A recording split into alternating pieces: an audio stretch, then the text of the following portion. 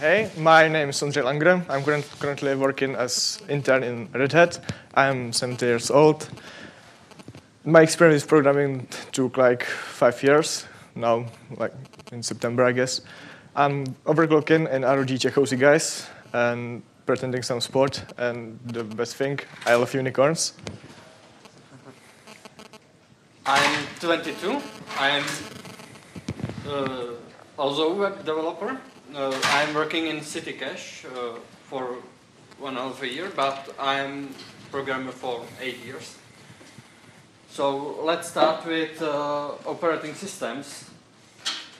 So what even is operating system? Can you imagine using computer without operating system? I guess you can't.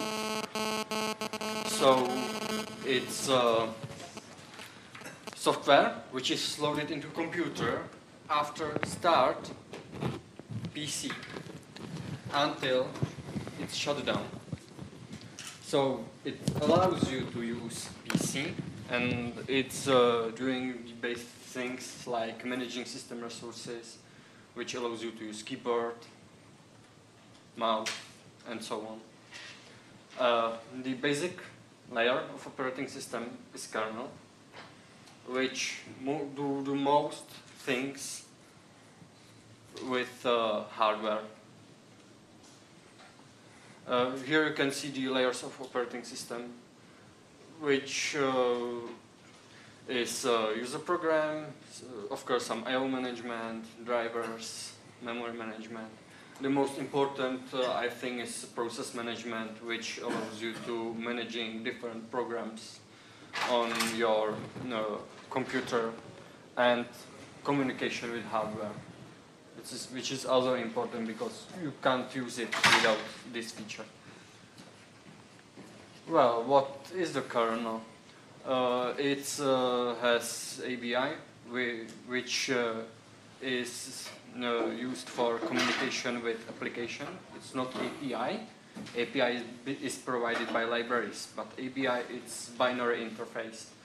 It's not just the function, but uh, it defines the ways how the uh, how the uh, arguments are provided to the kernel. It can contain some hardware drivers in case of monolithic kernel. In uh, case of uh, microkernel, it doesn't, uh, microkernel doesn't have drivers. Uh, it has some routines. Uh, it should be efficient and secure. There are few types of kernel. I've uh, told you about monolithic and microkernel. I will describe them later uh, and it's managing resources, it managing processes, and so on. So the first type is monolithic kernel, uh, where it's specified that all services uh, for, from kernel are running in kernel space, and uh, it's effective, effective and uh, no, it does not limit uh, access to hardware. Uh, when some drivers may fail, the computer also shut down. You can, you know, the BSOD blue screen of death, uh, or kernel panic. It means usually that some of your drivers will fail.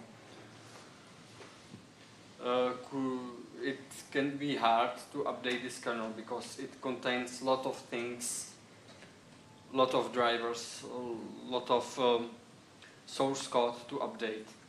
But it has got uh, easy design and uh, it has got easy implementation because you don't have to care about the barrier between those layers. And uh, microkernel, this gives minimal function, functional uh, functions for running applications or drivers. Usually it does not contain any drivers and uh, you are using uh, just to call some system functions and uh, those kernel is calling another drivers but those drivers are, are called in user space. Um, it defines just simple abstraction.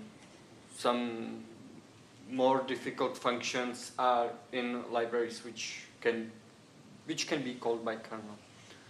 It uh,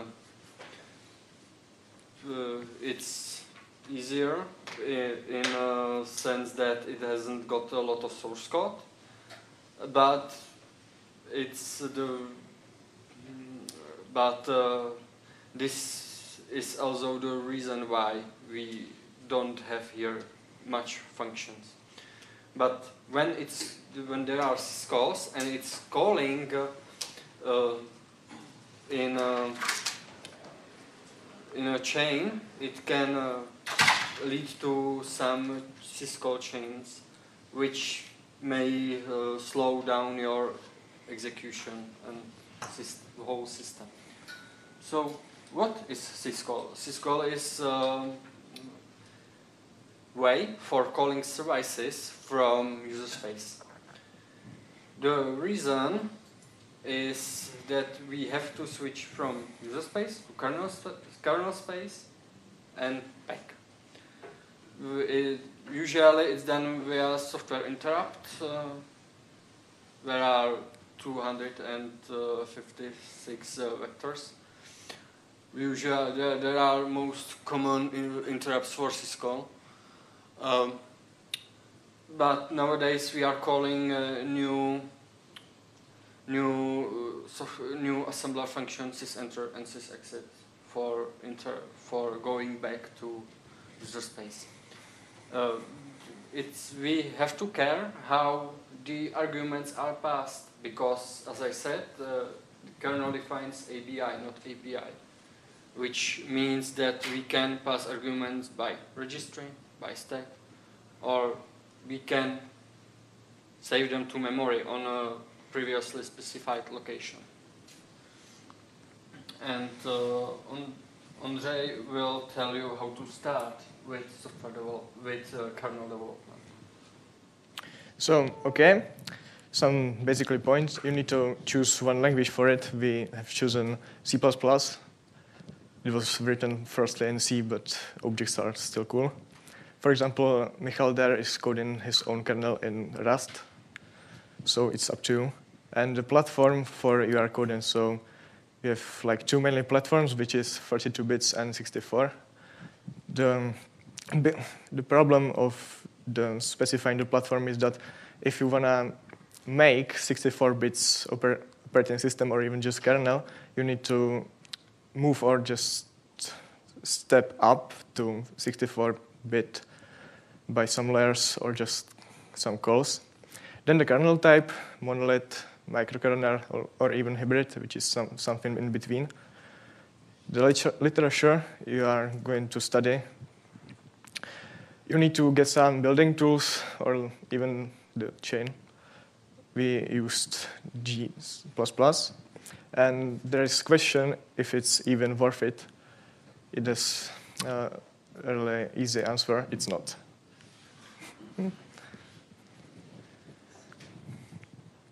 So how to start basically coding your own kernel?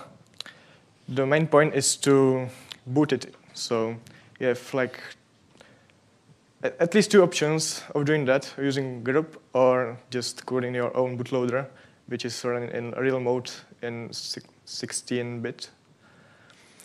Then you just you can start with just printing some characters to your screen. Then, of course, clearing the characters. Mess messing with some input and outputs. So, for example, input from keyboard or just output to your video memory. Then memory management. There we have some options like heap or just paging. Process or task management, which is mostly scheduling the processes and how it's executed. Drivers for, for example, mouse or keyboard and GUI. Get literature? We have these mainly sources, which is OSDev Wiki or Stack Overflow threads. There are a lot of it. You can also have a look through Minix source code, which is really cool. or some OSDev series, for example, the BrokenThorns. So kernel, we specify there are two types of memory. One's physically, which is basically just the RAM itself, and virtual memory, which is in protected mode. The protected mode is good in, for example, some task have its own memory, and you are starting from point zero, not, not like just one segment of memory itself and messing with that. Then some modularity, which, which is cool because of third-party drivers you need to implement some ABI, then system calls, messing with me memory management, task management, and your own drivers in case you have monolith kernel. So, task manager. Um, do somebody can describe what's task there? Okay, maybe cannot.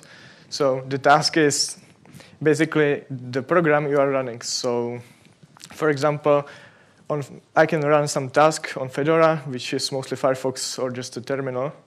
Then we need to specify the difference between thread and process. The difference is process is like the task, but the process can have some threads. We, can, we can see that, for example, on Google Chrome, which is running one mainly task for engine itself, WebKit, I guess, and then for each tab its own thread. Mm, we can also say that process can have a lot of uh, threads, but not in opposite way. And multitasking, which is really fast switching between the tasks, so you can run really bunch, huge bunch of these in same time. Okay, so our kernel named Pluto. What's Pluto? It's open source kernel which was coded after open house in Red Hat in April to 2K18. It's coded in C++ and network by Esselnber. It's monolith. The platform is 42 bits. We are using grub to just get in, not implement our own bootloader, which is not cool because you need to, well, it it's not cool uh, in the way like you need to mess with it, so it's boring as hell. And because we are using grub, we can just multi-boot. This is um, some abstraction of the designs of monolith and the Pluto. The difference between the monolith itself and Pluto is we we basically implement GUI into kernel, but it's gonna be more like services of the kernel and not just GUI as in other mo monoliths. Um, kernel and the software um, bubble is the kernel space and user space, and the difference is in user space you are running your own applications and kernel just handle it. So our future plans for Pluto is self-hosting which means you can run something, its own file system, which will, which will be implemented maybe today or in some days. I hope in, to the end, to the DevConf, we have at least FAT16, maybe, maybe ext4. Mm, be more specific on GUI, because now it's just some moving windows, like itself, some blocks, not the content of, of it itself built-in compilation, so you can compile for it, for example, Firefox or etc. you want, and make some builds for ARM. If you want to join us, you can just write me to GitHub, Facebook, or meet someone from development team there, or open out. Maybe we will be on the FOSDEM too, but we are not speaking there. So we can maybe move to some samples.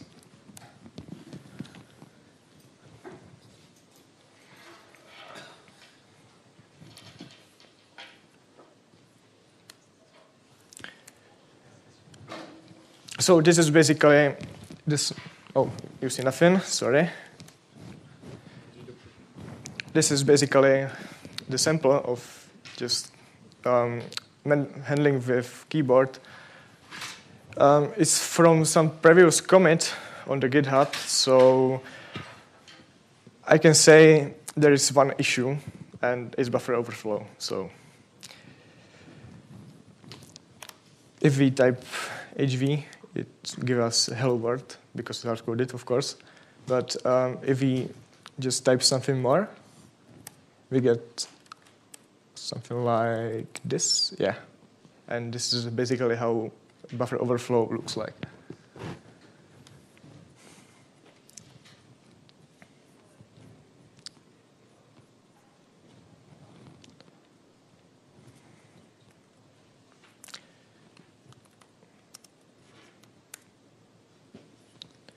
And definitely our GUI of the Pluto. So there is, it's on VGA. The resolution is uh, for 80 pixels to 30, I guess, or something like that. Oh no, um, this is the other one. We are free 320 pixels by 200 pixels. So because there, there's issue with just interpreting it by VGA just itself because in this case of this resolution, we can support like 256 colors. And if we just shut it down and maybe turn, turn off uh, the GUI, Máš to tady někde? Source code. Mm-hmm.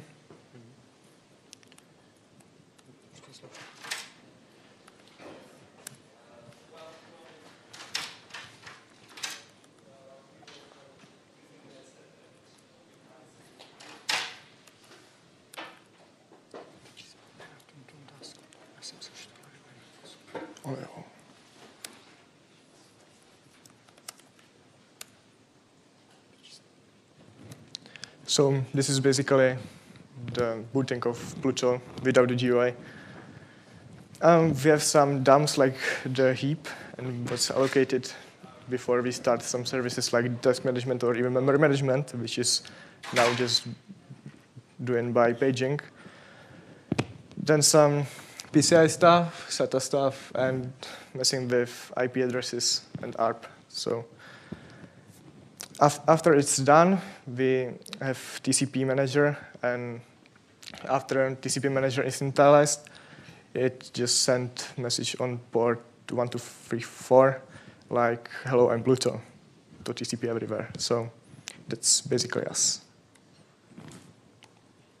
So any questions? I'd like to ask you whether it's just, whether it, this is just a toy for you or whether you have some greater purpose.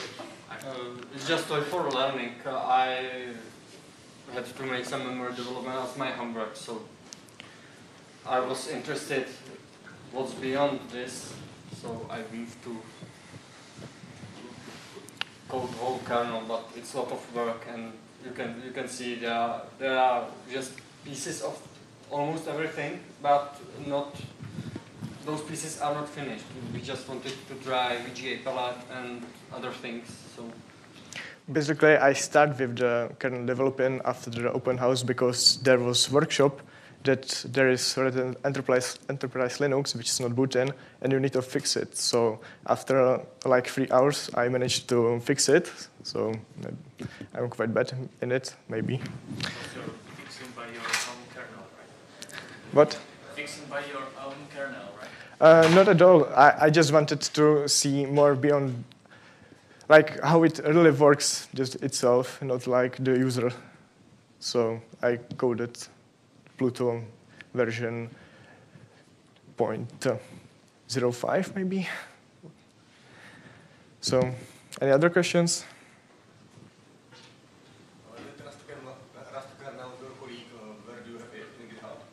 Uh, it's not in GitHub, it's in GitLab. Uh, but uh, I have to release new version of my source code. I yesterday I made some updates to this, but uh, but currently I'm not sure I want to show it because it's uh, not in it's not in state. It should be because it should be um, it should be microkernel, not monolithic like this one. Anyway, you can say not right now. but in, in next few days, I uh, should do it. we will, but uh, I think we will we will change README in uh, officially in uh, monolithic and on GitHub because we may link it. So, okay? No? Just one thing. Uh, what was the most difficult part about writing the kernel? If you start with nothing and then you got there, what, what, what took you like the longest or? Well, we are now The- messing the with... longest things was the dummy bugs like uh, uh, you have uh, some function de- defined uh, in other file and so on. or just bug fixing it in la- last time when you have no time for it and just man- man- manage to copy some files to or make file and then realize you implemented so- something but it's in the other file not in the are compiling so I remember I spent three days on VGA because uh, when uh, the TCP TCP message is sent, it got stuck. It got stuck because uh, it waits for answer. But I couldn't. I don't have. Didn't have set up uh, the. Didn't have set up network on uh, so it just wait.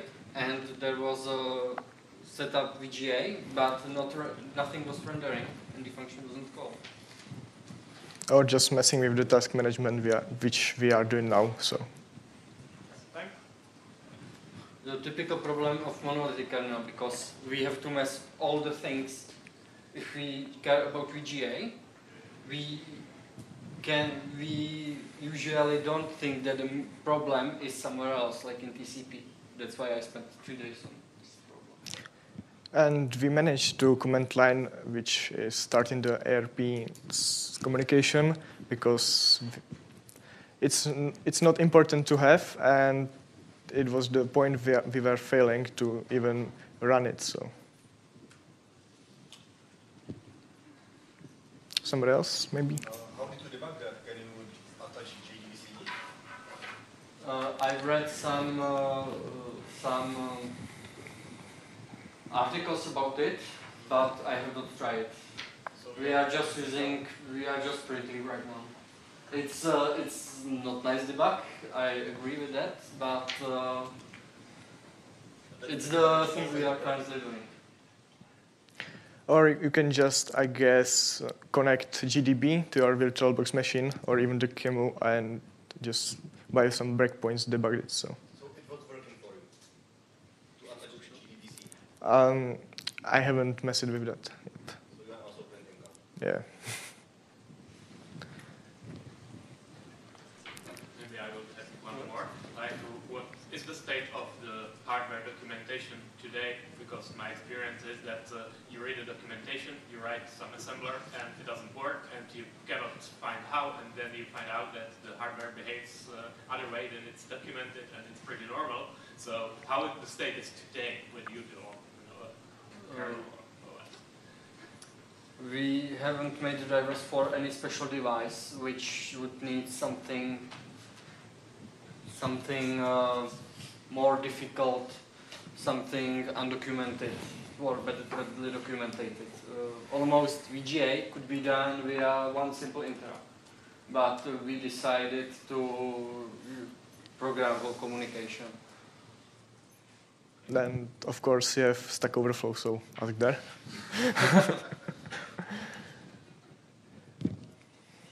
I think we can make one last question because we We are. are quite running out of time. um,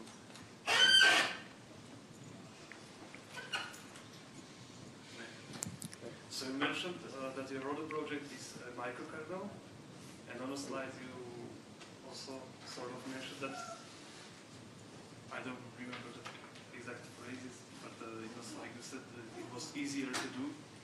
So do you know some desktop microkernel that is Uh, already I, I know NOVA mi- micro hypervisor and you can try operating system called Genode which is uh, which has got uh, GUI. I think they are able to uh, run Firefox on their system. Uh, we were using some like version of NOVA kernel in our school for making the task management. So you, you, can, you can try this. So that's basically all of all from us. So see you later. Or if, if you have any more questions, just find us. We are mostly on Mozilla. So okay.